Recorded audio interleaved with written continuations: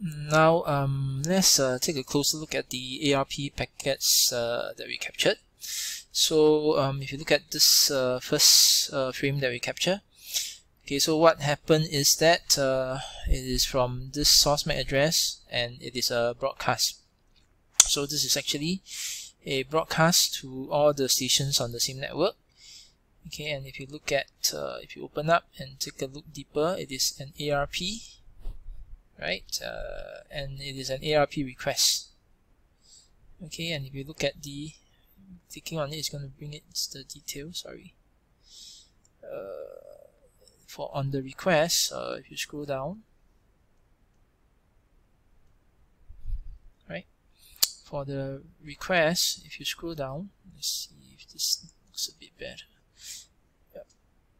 If you scroll down, you're going to see that uh, it's an ARP request from this sender IP, right?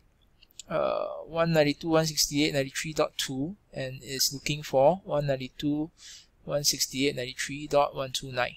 Okay, so this IP address is looking for the MAC address of this uh, IP address, right? And if you look at the reply. This is the reply. Okay, so this is an ARP reply, and uh, basically the sender MAC address is set here and it's trying to tell uh, the destination okay the 93.2 that uh, for uh, 93.129 this is actually the MAC address. Right so uh, we have discussed this uh, as you can see um, the ARP request the ARP request is actually a broadcast. So all the stations on the uh, network is going to hear this broadcast and it has security implications this means that anybody uh, is free to respond and uh, uh, uh, an attacker on the network can jolly well say that, hey, I'm actually uh, 192.168.93.129 and uh, this is my MAC address. Uh, for all the traffic going to 192.168.93.129, come to me.